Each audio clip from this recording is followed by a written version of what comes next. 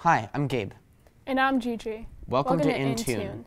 where music and entertainment meet the politics of a suburban high school. On Friday, September 7th, rapper and producer Mac Miller tragically passed away at age 26 due to a drug overdose. His passing is the latest in a string of drug related deaths in the rap community.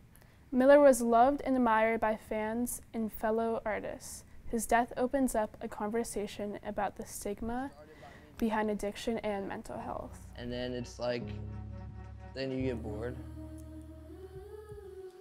Then you're like, well, I could just be high and I could have a whole adventure in this room.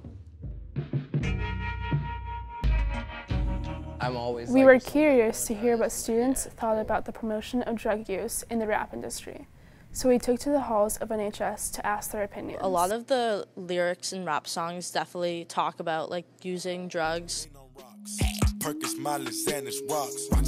And I think that that definitely has an influence on the listeners because they kind of look up and idolize these rappers that um, sometimes uh, I guess, use drugs in a dangerous way. I did have a Xan, 13 hours till I land, had me out like a light.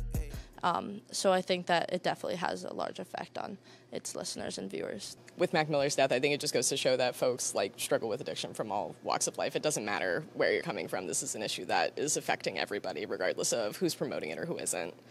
This week, we sat down with Dr. Peter Cassis to discuss the prevalence of addiction in our society and what can lead to recovery. Uh, stigma is one of the greatest barriers that uh, that people face in uh, in getting assistance for their addiction disorder. The good news is that uh, there's more and greater and greater recognition that um, that substance abuse is not a personal defect, that it's not. Um, it's not a character flaw.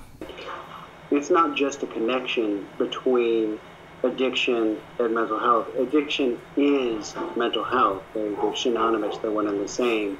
Um, many people will consider addiction to be some kind of moral failing. However, that's not really a, a helpful way to think about it. Uh, instead, it's important to think about addiction as a disease. It is important to spread awareness about mental health issues in our community.